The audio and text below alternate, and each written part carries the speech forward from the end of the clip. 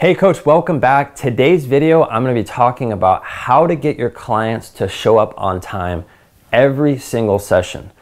So I've seen a lot of complaining recently from a lot of coaches who are on our newsletter. They're reading our newsletter, but they can't seem to find clients who are showing up on time. And this is a problem because anytime you have clients who show up late, they're not gonna get the full benefit from your program and it makes you look very unprofessional especially if you're doing group training.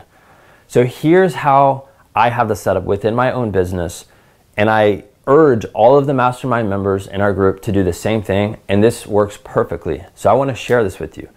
So anytime in your onboarding process when you're talking to a parent and they're going to be a, become a client, you want to let them know that you have a condition. If they're going to be working with you, they need to show up 15 minutes early. And here's why I want you to do that. If you know that they're going to show up 15 minutes early, then Johnny, your, your player that you're training, he can get warmed up. He can do a, a light jog. He can stretch out before the session begins. I see so many trainers out there, they waste time during the session. They're doing 10 to 15 minute warm ups, they're doing hour sessions, but now they only have 45 minutes to train.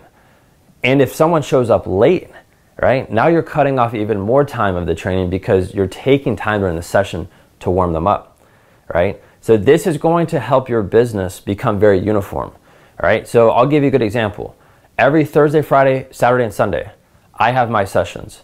Every single kid shows up 15 minutes early. So I have sessions on the hour. So if I have sessions on the hour, that means every player is going to show up 15 minutes early. Their parents are bringing them, right? They're always going to be on time. This way they're never late.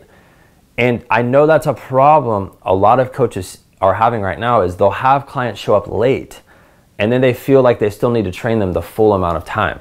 You should not be running your business that way. So if you're running into this problem, take my advice. I hope you can install that, but you have to level up the communication with the parents.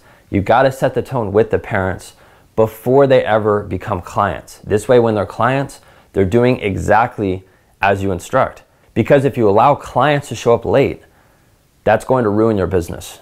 And that's going to ruin your day of training because now you're sitting there at the field or at the court or at the park waiting for clients to be there, right? And that's not a good feeling. I've been there before. I spent the first two to three years of my business running it that way. There were zero rules. It was too flexible for parents. There were zero commitments. That is not how you're going to be able to run a successful business. So hopefully you can take that advice. If you have any questions for me about how I communicate that to the parents, um, about how I pre-qualify parents into my program, how I get players um, and clients to commit to my program for six to 12 months, I highly recommend you go to our website. We have some great resources there. So if you go to www.buildmysportsbiz.com, just check out the site. We have a mastermind for coaches where I'm helping coaches daily with their business. Uh, we also have a podcast. Once a week, that podcast goes out. And we have a free daily newsletter. All right, you guys heard me uh, a couple weeks ago. I talked about my daily newsletter.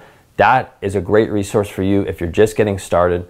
This way, you can pick my brain every single day. I'm sending out a great resource every single day in the morning. You can take advantage of that, and I highly recommend you just go check out our site. You'll see everything there. So that's it for this video. I'll see you next time.